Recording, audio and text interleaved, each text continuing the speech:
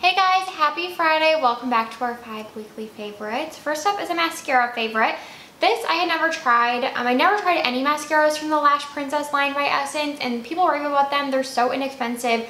So I decided to pick up the Lash Princess Sculpted Volume Mascara and this has a curved nylon bristle wand which I love curved wands like this. I feel like they're a little less messy, a little bit easier to grab at the base of your lashes. And this gives me like a really good everyday volume look. I feel like it's a little bit buildable. I really, really enjoy this. I feel like it's not the most voluminous mascara that I've ever used. But on days when, like not like today, when I have an actual eye look on, but on more so casual days, I think this is like the perfect amount of volume, amount of length, um, and it's not irritating. It's I black. that's a lot of volume. You don't really? think so? I did build it up quite a lot today, mm -hmm. but I feel like it's just versatile. You can use it in a lot of different ways. You could do a really light layer of this because it's a pretty thin formula.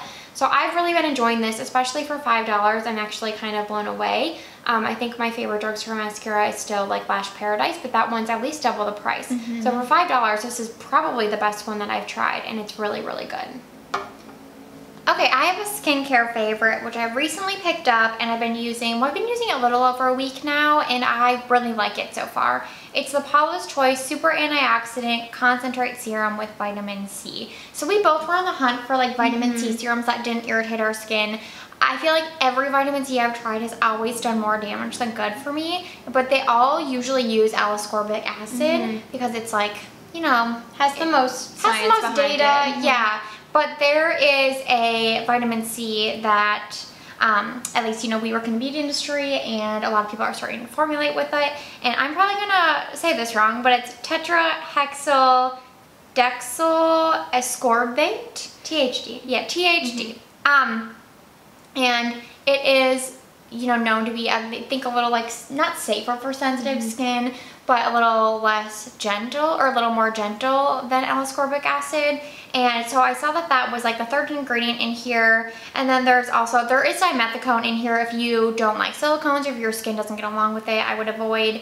Um, but then there's a lot of other good things in here. Like there's ceramide, um, a peptide. Ferulic acid. Yeah, ferulic acid, beta glucan. There's just a lot of good things in here and I was like, okay, I'm gonna try that out. And I never purchased a Paula's Choice product. Mm -hmm. They did send us their cleansing balm. Yeah. And we've really been liking that. So I've just been really interested in the brand and so far I really like it. I feel like a lot of people said that this is like their winter serum for vitamin C because it's like pretty hydrating. And I will admit it goes on almost borderline greasy, like where you're like, oh, this is like really moisturizing. But for my skin, it actually soaks into my skin like completely.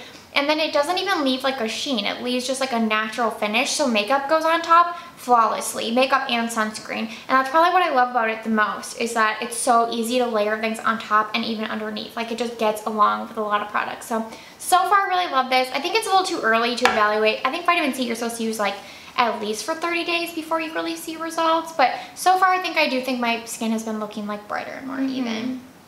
Okay, this is truly a random favorite and I can't bring it over here, but um, my coworker was telling me about these little like webcam covers that you can get for your computer and it's literally like a really tiny piece and it has a sticky backing and you basically just like adhere it over the little like circle where your webcam is on your laptop. It's a camera, right? Yeah.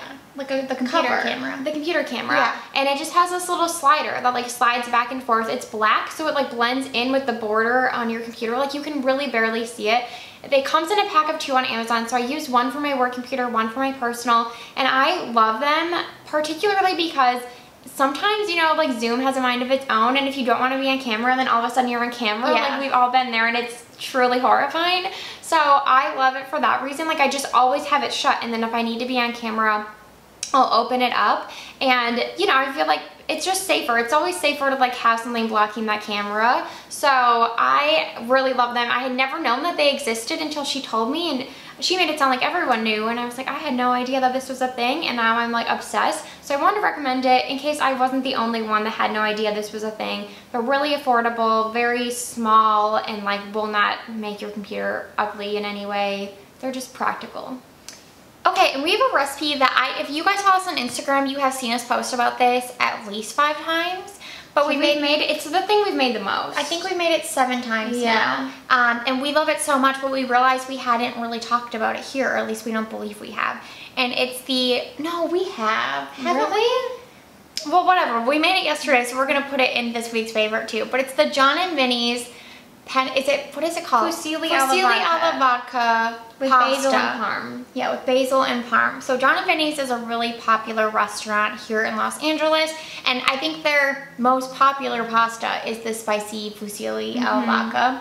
So I think that like Jon and Vinny wrote the recipe for Bon Appetit. It kind of Yeah, seems. that's what I And they posted it online, and I mean the Jon and Vinny's like they make their own fusilli, so that's what makes it like really special. But this recipe is honest to God like so easy for how impressive it is. Yes, I think it's the.